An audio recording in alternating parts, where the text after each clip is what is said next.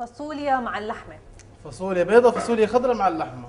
فاصوليا ميكس. أو أو لوبيا بيضة فاصوليا إيه. كذا اسم بس عارفين شكلها. فاصوليا بيضاء وفاصوليا خضراء مع اللحمة. طيب تمام. يلا نبلش فيها. هنحط الزيت ونقلب معنا البصل. أها فرجيني قد إيه رح تحط زيت؟ بالمعالق معالق فاطمة معي عافاك. معلقتين ولا معلقة؟ آه بعتقد معلقه مفروض إنه تكفي. معلقة لأنه اللحمة فيها دهون عمرك. بالطبخة كمان. عمرك. معلقة أنا. بحب جرب. هلأ إذا بدها بعد بنزيد صح؟ لا بصل مع ال- البصل مع الزيت وهذا هيدي جوس. للحمة اللي تستوي فيها. بالضبط. ونحط هلأ سخن الزيت معنا ونحط البصل مع بعض. فايز آه انت قلت لي انك عملت انواع كثير من الدايت ومن الحميات الغذائية آه طبعا طيب خبرة. آه هلأ أنا بدي أسألك هيك كم أي. سؤال لشوف أنت مثلا شو الأشياء اللي عندك إذا بتطابق مع المعلوماتي أو أي. في عندك أشياء تانية ممكن إنك آه هاتي اسألي آه. شفت فايز كان دارج فترة إنه الناس يقولوا إذا بيعرقوا بيروحوا على السونا وما بعرف شو بينزل وزنهم جربت هذا الموضوع؟ أنا أقول لك أنا هي مكتوب عندنا أنا بروح النادي بدخل سونا وبخار وجاكوزي وشغلات هاي بس بكتبوا تحذير على نفسها يعني بكتبوا إنه والله إنه لو قعدت أكثر من 10 دقائق هذا مضر بالكلى. يعني تقريبا هيك بكتبوها صراحة أنا كنت هيك شايف يعني. طيب في ناس كمان بفكروا إنه اللي بيعملوا رياضة وبيعرق كتير كمان بينزل وزنه. يعني على قد ما بتعرق على قد ما بينزل وزنك. هذا طبيعي يعني. آه أنت هلا يعني بعرق فبحرق دهون وبحرق هذا آه أنت هيك أنا هيك بتعتقد بفهمها يعني آه. أنت بتعتقد إنه العرق يعني عم تحرق دهون. بالضبط. طيب فيني أنا جاوبك ولا؟ آه جاوبينا أحط اللحمة وجاوبينا حنحط اللحمة. يلي هي جبناها هبرة أكيد بدون دهنة ابدا. هاي آه. آه هلا آه فايز في شغلة كتير مهمة. أيوه. عملية العرق هي عملية بيستعملها الجسم لحتى يبرد حاله. أيوه. يعني لأنه الجسم لو وقت اللي بتعمل رياضة أكيد بيحرق طاقة. مزبوط وممكن إنه هيدا الشيء يسبب إنه الجسم آه، تعلى مثلا آه، يعني لو آه، لو ما في عرق كانت تعلى درجة حرارة الجسم كثير. فلحتى يعدل الجسم درجة الحرارة اللي هو فيها بيطلع العرق. بيطلع العرق. أها. فمش معناتها إذا نحن عرقنا نحن عم نعمل رياضة هيدا أيوة. الشيء إنه بخلينا يعني يكون وزننا عم ينزل بالضبط فيك تكون مثلا أنت عم تمشي أو عم تتحرك أو عم- على البسكليت أو عم تسبح أي. وما عم تعرق بس عم تحرق دهون عرفت كيف؟ يعني في ناس مثلا بيقولوا لي إنه يمكن إنه الطقس شوب كثير بالصيف ما فينا نمشي. آه، بنعرق كثير ما فينا نمشي فكتير مهم إنه الشخص يعرف إنه مش ضروري نعرق ومش ضروري نشوب لحتى نكون عم نخسر ما أنا وزن بيني وبينك لما أروح النادي هناك مم. ما برتاحش إيش أروح ألعب شوية تنس إيه شوية تنس طاولة يعني ping إيه pong إيه بلعب شوية ping pong بطلع ممكن فوق أمشي ل 10 دقائق على السير. فبكون خلص عارفه مولع يعني بعدين في عندي شوية ألعاب سويدي عشان أجري وهذا ب... يعني شوية تمرين. بلاقي القميص هيك صار مي بقول بس هيك خلص احترق اللي. بدي احرقه. آه. صراحة صراحة هيك بعمل آه. لا هلأ من هلأ وبالرايح ما تفكر هيك بدنا نغير شوي طريقة تفكيرنا فايز. غير طالما أنت قادر إنك تعمل رياضة هاي. آه مثل ما عم أقول لك حتى على درجة حرارة معتدلة يعني مش ضروري تكون مشوب بالضبط. هيدا الشيء كثير رح يساعدك. الحركة نفسها أنت قصدك الحركة نفسها الحركة. نفسها رح تساعدك. آه. وأكيد خلال ممارسة الرياضة إنه الشخص بده يضل هو هايدريتد أو يضل مثلا آه أيوة. عامل حسابه إنه آه ما مش إنه عم يعرض حاله للجفاف. لأنه ال- المي هيدي اللي خسرناها لازم نرجع نعوضها بالحقيقة. بالإضافة للمي اللي نحن بنخسرها عادة بنخسر كمان آه، شيء من اسمه بنقول له اسمه الأملاح أو أيوة، ما هي العرق املاح يعتبر صح ولا لا؟ مزبوط هو العرق بيكون فيه بقلبه أملاح أصلا. بالضبط فالأفضل وقت اللي بناخذ مشروبات مثلا أيوة. ناخذ المشروبات الخاصة بالرياضيين خلال ممارسة الرياضة لأنه هيدا بيساعدنا الشيء آه تقريبا كيف؟ بسمع ال tonic بياخذوا tonic ومش عارف إيه أشياء كده يعني في في أسماء. كثيره في أسماء كثيره بس هي مشروبات خاصة بالرياضيين حلو هنحط الفاصوليا البيضاء والفاصوليا الخضراء مع بعض ونقلبهم مع شوية بصل هلا بتعرف آه. عادة ال- المفاهيم الخاطئة بتنتشر بسرعة بالضبط. وبتصير الناس يعني تتداولها. في أشياء روتينية.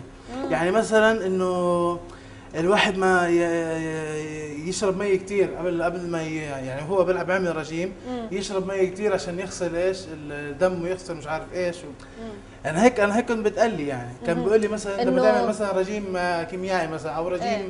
الأسبوع هذا ولا الأسبوعين؟ إيه. إنه اشرب مي كثير ما بعرفش ليه يشرب مي كثير أنا مش فاهم أنا ليش اشرب مي كثير هلا اجمالا فايز بما إنك جبت سيرة الرجيم الكيميائي آه. الرجيم الكيميائي بيعتمد على البروتينات بشكل كتير كبير. أيوه. الاعتماد الكلي على البروتينات هيدي شغلة أول شيء ممكن تسبب زيادة الكوليسترول بالدم لأنه عادة بيكون مصادرها اللحوم وخاصة اللحوم الحمراء.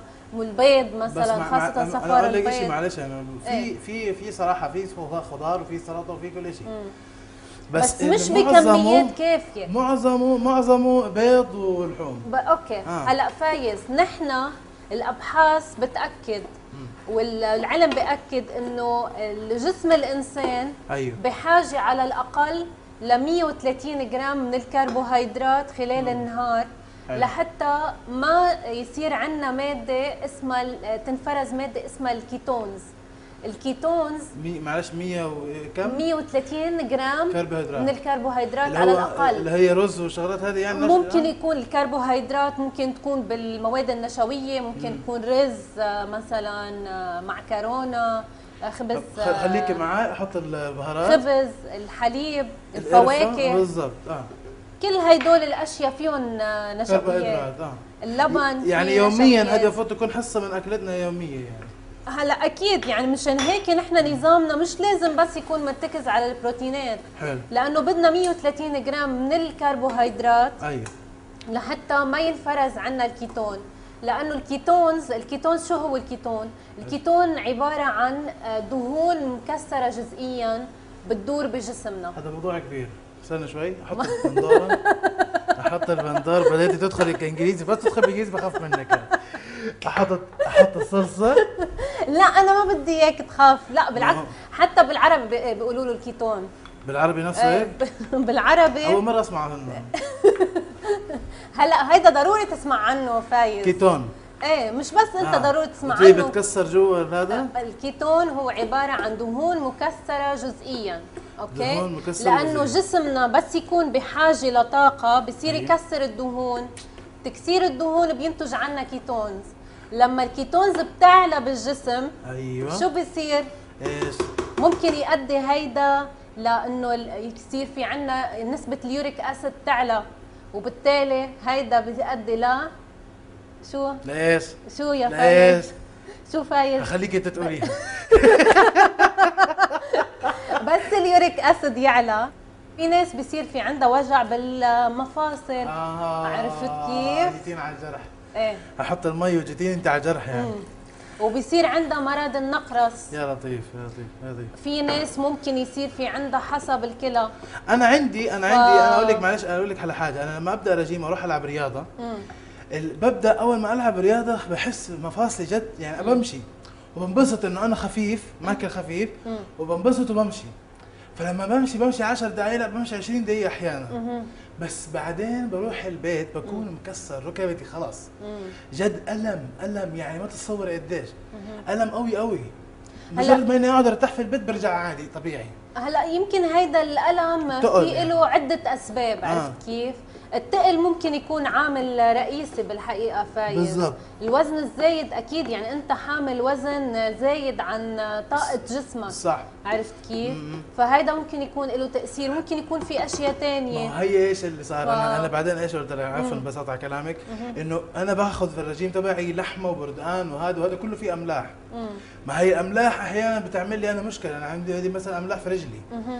فيمكن لما أكلها أبدأ أكلها وما فيش مي كثير بشربش مي كثير مثلا تبدأ تعمل هيك معي فاهم على هذا اللي حصل معي يعني. هلأ طبعا ال- الأشخاص اللي بيعانوا من داء النقرس آه. آه يعني هيدول في عندهم وضع خاص بس آه بالإجمال إذا بدنا نحكي هيك بالخطوط العريضة مزبوط. إنه يحاولوا يبتعدوا خاصة عن اللحوم العضوية أيوه. آه اللي هن الكبد مثلا النخاع معلقه المعلقه قولي المعلقه إيه. قولي فيه.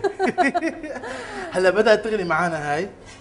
آه لازم كمان آه إيه هلا بنتركها لتغلي حنغطيها. عشان ما أقطعك كثير أوكي وخلينا نبلش بالوصفه الثانية ونبل... ون... ونرجع للمعلقة لأن أنا من المعجبين جدا بالمعلقة هايل. يلا.